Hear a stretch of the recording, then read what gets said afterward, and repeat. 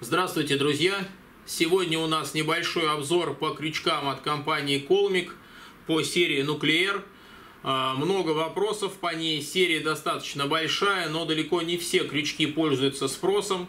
А, поэтому, скажем так, у народа есть большое такое замешательство, потому что а, они находят противоречивые мнения в интернете. Кто-то пишет, что это прям лучшие крючки в жизни, которые он испытывал и пробовал – а другие пишут, что какой-то размер непонятный, э, мне не подошло, рыбу не засекает, я вот там на фидер взял, не, под, не подцепляет, все одни сходы, либо вообще не секу, да, другой полностью наоборот об этом говорит. Плюс говорят какие-то там, э, купил, э, кто-то посоветовал темненькие цвета, у него почему-то светлые попались, и рыба вроде как не клюет на светлые и тому подобное.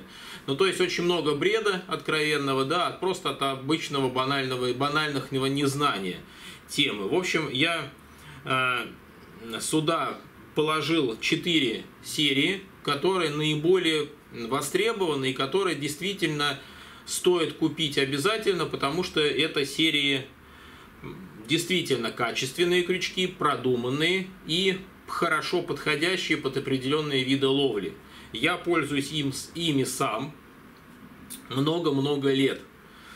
А, давайте, значит, начнем. Сразу упомянусь. Если в серии, а, некоторые серии начинаются с буквок да, B или N. Вот B означает бронзовый цвет. То есть крючочки будут более темные у вас. Н это никелированный никель. Они будут чуть более светлые, поэтому вот на этот момент обращайте внимание, кто этого не знает.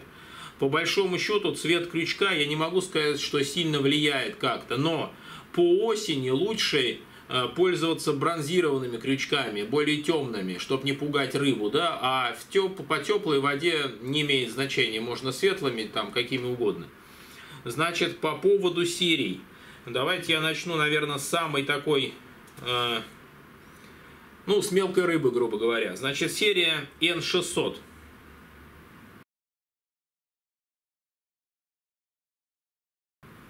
Данные крючочки имеют э, лопатку, то есть они максимально облегчены, при этом достаточно широкий поддев, да, и высок, высокое жало. То есть это крючки очень хорошо, которые подходят в более больших размеров на ловлю хищника, то есть окуня. Когда пробивает, скажем так, костистую пасть окуня, нужно крючок, который Э, более, имеет более резкий вверх-выход загиб для того, чтобы он держал, чтобы он не амортизировал. Потому что, как вы знаете, более плавные крючки с плавным загибом, они могут немножко прогибаться. Если возьмете вы в руку любой крючок, да, и вот так вот погнете, вы увидите, кто, не, наверное, не делал этого, ну, естественно, если это не толстая бешеная проволока, я имею в виду вот это полноценные крючки, идеальное сочетание веса крючка, да, и толщины проволоки и так далее. То есть крючок должен гнуться немножечко совсем. То есть если вы, естественно, не, не еле-еле зажимаете, он уже гнется, это не дело, конечно. Да, но, скажем так, как, как-то вот амортизировать чуть-чуть, для меня это даже плюс, потому что он часто смягчает и не рвет губу, и если издалека вываживаешь рыбу, то, соответственно, рыба не сходит. А почему я предпочитаю крючки с лопаткой, а не с колечком? Здесь всему, скажем так, виной, виной э, именно вес крючка. Э, то есть э, замечено опытным путем, у меня были тесты с подводными камерами, я для себя это снимал, когда еще только начинал заниматься рыбалкой и не верил, скажем так, я в принципе привык сомневаться во всем, пока сам не проверю, потому что я знаю массу людей, тех же спортсменов, ну, не всех, естественно, да, но есть определенные спортсмены, которые имеют свои каналы и которые, в общем-то, чисто маркетингово рассказывают все, хотя когда мы с ними вдвоем ловим на воде, он применяет совершенно другое да, чем то, что он рассказывает, чем он делится. Поэтому я просто взял камеру, купил, не поленился, аж две подводных, поставил и смотрел, что будет происходить, как. И вот, э, скажем так, та теория, которая... Давайте не будем о теории, я сразу вывод расскажу. Суть такая, что, что сама насадка на дне, когда она находится на крючке, наживка сама, если она, конечно, животное, да, в общем-то, да и даже и не животное тоже – растительная, э, она должна быть естественной, естественно, с естественным поведением на дне. То есть вот представьте, бросили мотыля, я так вот раньше изучал, бросаю мотыля на течение и смотрю, как, как он двигается, как он э, ведет себя, потому что и потом я беру, насаживаю на крючочек и также бросаю да, и смотрю, чтобы он не изменился, и не изменилось его поведение, как можно меньше, чтобы оно изменилось, чтобы эта насадка вела себя естественно, как она в ре, без крючка, так она и на крючке. Конечно, это от этого, от поведения насадки еще и зависит толщина поводка. Вот поэтому, когда крючок, крючок тяжелый, либо он из толстой проволоки, которой просто не нужна такая толщина, обязательно поклевок рыбы у вас будет меньше. Поэтому мой вам совет – попробуйте замените крючок и толщину поводка на минимально необходимое в данный момент времени. Не надо с, с бешеным запасом, там как на лохнесское чудовище покупать крючки на какой-нибудь там леща на килограмм условно. Да, возьмите максимально легкий крючок, насадите там не пучок мотылей из 20 штук или там 20 опарышей или 10, как некоторые осаживаются вот на такой спарец и ждут, почему у них не клюет а насадите действительно там один, э, парочку мотылей, либо одного мотылика даже колечком да, на этот крючочек, и вы увидите, что ну, часто может много измениться в кваклевок. Там, где вы думали, что рыбы нет, она у вас начнет... Это я вам 60-70% даю, что так и будет. А действительно, изменения очень серьезные. То есть от веса крючка многое зависит. Соответственно, чем он тоньше проволока, тем лучше. Ну, соответственно, опускаться до там идиотизма, грубо говоря, не нужно, там совсем тонюсенькую крючочек и малюсенький не нужно покупать на там карпа, допустим, да, но тем не менее вы поклевки действительно увидите. Вопрос в том, что вы видите вы его или нет, но увидите. Поэтому вот э, лопатка, она действительно дает э, уменьшение веса. Ну и, соответственно, толщина проволоки тоже крайне важна. Вот эта серия N600, она из тонкой проволоки, она очень хорошо заточена, то есть э, у меня вообще серии Колми крючков хватает. У меня все были и Престон, Дреннон, Браунинг, там, Мавер. Огромное количество разных крючков, флагман там я уже не считаю. А, и э, колмик держится крючки по остроте наиболее долго, чем все остальные. Вот, проверяя крючок по остроте достаточно просто, просто беру жал, жалом, да, и вот провожу по ногтю и очень хорошо чувствуется, цепляет он или нет. Если он гладко сходит, значит крючок в помойку. Ну, либо какие-то сходы. Притом, мне, когда, скажем так, в свое время, когда я только начинал на колмик ловить, и денег было немного, да, я экономил, и поэтому не считал нужным выбрасывать, в общем-то, качественные крючки даже после рыбалки. То есть у меня было такое, что я поводочек снимаю после рыбалки и обратно в поводочницу засовываю, да, там аккуратненько его ну, одеваю, да, и на следующую рыбалку. У меня так несколько поводков выдерживали даже несколько рыбалок, и они не тупились, поэтому крючки действительно качественные. Ну вот, это серия N600, это а, серия предназначена для ловли мелкой, в общем-то, рыбы, да, это маленькие размеры, то есть размеры класса там 18, 20 и так далее. Можно брать на уклейку совершенно свободно, можно брать на платвичку, да, а более верхние размеры это окунь, соответственно, и так далее. Именно за счет правильного вот этого загиба. Под насадку точность также, они рассчитаны под животную насадку. То есть за счет именно формы крючка на ней хорошо держится мотыль, на ней очень хорошо держится опарыш. Вот за счет э, такого резкого выхода, как вы видели на в картинке, да, что я показал, жало, что более под прямым углом вверх выходит, именно за счет этого э, опарыш, он слетает или мотыль сходит гораздо дольше, то есть его тяжелее содрать с крючка. Да, но тем не менее он этот крючок меньше амортизирует. Но в то же время, э, скажем так, когда мы ловим мелкую рыбу, нам амортизация особо сильно не нужна. И, соответственно, хищника нам тоже, он нам главное пробить пасть. Значит, следующая серия, которая тоже очень востребована, это серия крючков MR300.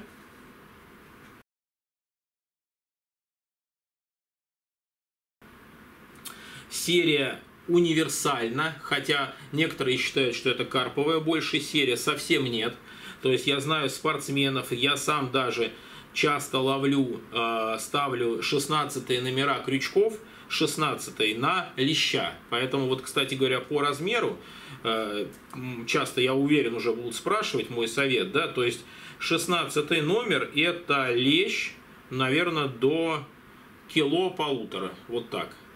Да, ну, соответственно, 16-14. Если рыба больше размером, там карп, допустим, 10 номер, точно так же форель 10 номер. То есть это вот примерно вот исходя из этого смотрите.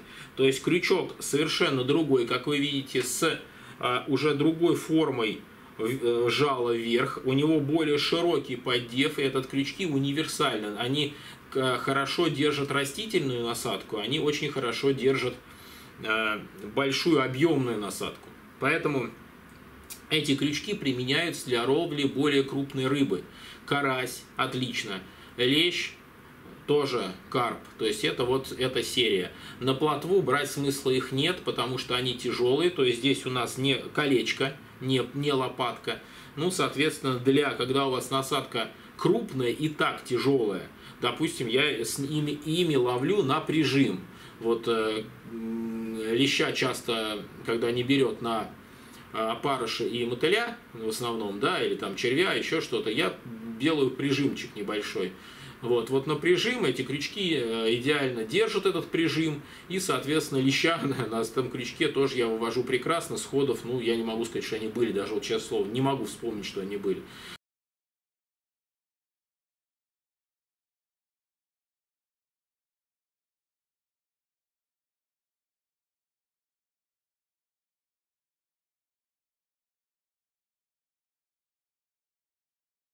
То есть форма крючка – это растительные насадки, это животные объемные насадки. Поэтому вот серия МР-300, вот исходя из этого выбирайте.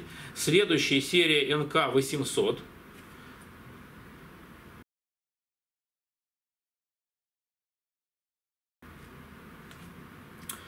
Это серия, э, э, скажем так, похожая на MR300, но более мощная, более с толстой проволоки. Это серия, а, скажем так, та проволока, которая может применяться на приловле действительно крупного карася и карпа, и крупного леща. Но больше для леща берите МР-300, а для карпа в сторону НК-800. То есть э, у них острие, как вы увидели на картинке, оно загнуто внутрь. Это помогает рыбе не сойти, когда трепыхается, там, либо леску вы ослабили как-то в ненужный момент. Да, соответственно, так как толщина проволоки здесь большая и так, то здесь, соответственно, используется не колечко, а лопатка для того, чтобы хоть как-то уменьшить. Да? Вот, но при этом крючок получается максимально легкий, насколько это возможно, но толстый по проволоке, который будет очень хорошо держать. По насадке больше растительные насадки и, соответственно, точно так же объемные животные. Кукуруза с опарышем, там дернышко кукурузки с опарышем и так далее. По размеру они похожи с МР-300, то есть, скажем так, на карпа на платнике я всегда беру в 12 номер. На карпа там до 2 килограмм. Ну, в принципе, 2,5 попадется, он все равно держит. И он э, небольшой крючок, но очень он зацепистый и очень хорошо держит. А, эти все крючки, что я перечислил, а, можно применять на а, фидере для донной снасти, скажем так, они будут очень хорошо засекаться, работать. А, а вот НК, э, да, но не на поплавочке. На поплавочке они хуже работают. Именно за счет того, что вы подсекаете вверх, а фидер подсекаете вдоль дна. То есть вот эти две серии НК-800 и МР-300 это больше фидерные серии. А серия N600 и вот я сейчас перейду к ней N957, они универсальны. То есть их можно применять и так, и так, и на поплавочке, и на фидере.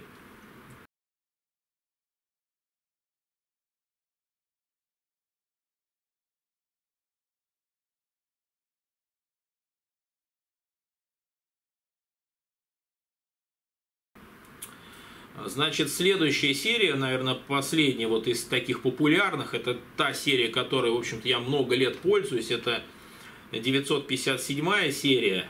Она также есть никелевая, есть бронзовая. 20 а, крючков, кстати говоря, в упаковках во всех. Это достаточно много, то есть многие кладут меньше. Вот, э, значит, серия 957.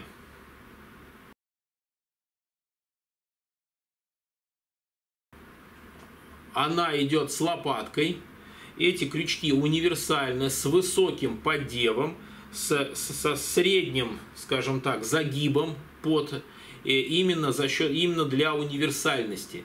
Вот такая высокая, скажем так, ножка крючка, она очень хорошо позволяет располагаться крючку именно вертикально и сечь рыбу вверх на поплавочную снасть.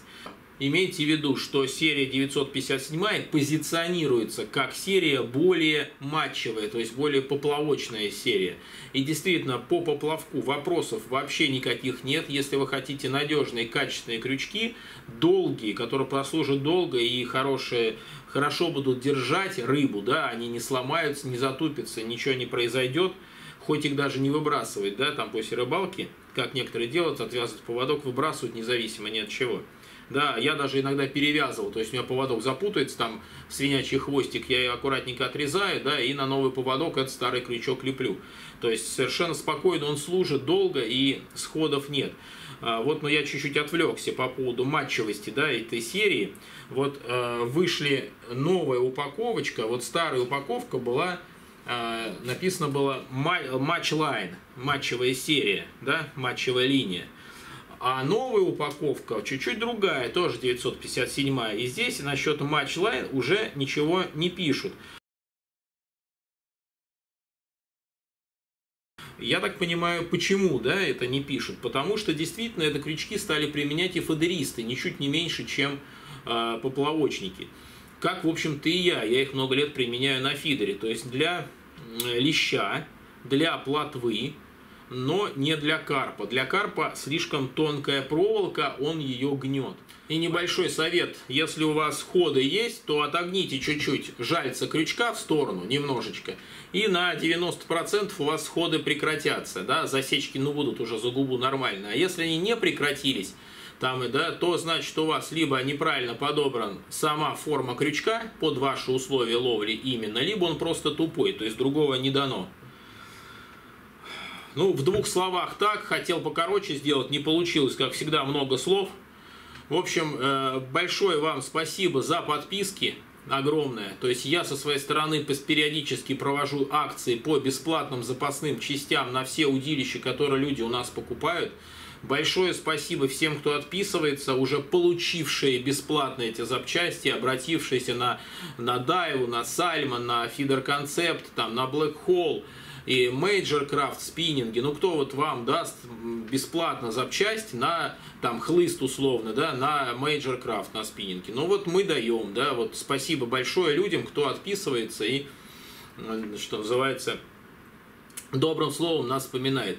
Поэтому имейте в виду, что такие акции будут дальше продолжаться, дай бог ничего не произойдет, да, поэтому все под Богом ходим, 100% гарантировать не могу, но пока уже много их было и в планах, и в будущем, да, бесплатно обеспечивать запасными частями, что для меня наши покупатели – это самые приоритетные покупатели, поэтому я всегда веду статистику приблизительных, я знаю, сколько примерно тех или иных моделей продано, и мы специально резервируем запасные части примерно на эти модели, потому что статистика существует все равно от там условно 100 э, спиннингов проданных там конкретной модели, поломок примерно вот там столько-то процентов. От другой модели, от тех же 100 проданных спин поломок примерно столько-то, да.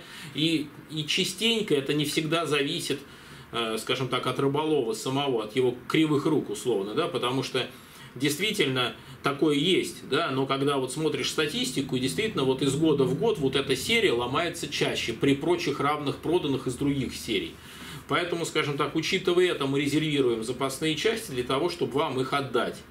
Вот, и отдать бесплатно нашим покупателям. Условия по акции, пожалуйста, прочитайте на сайте Multifish в разделе программы лояльности, читайте, таких условий нет ни у кого. Ну и, соответственно, заказывайте удилище, покупайте и всего вам доброго и до новых встреч.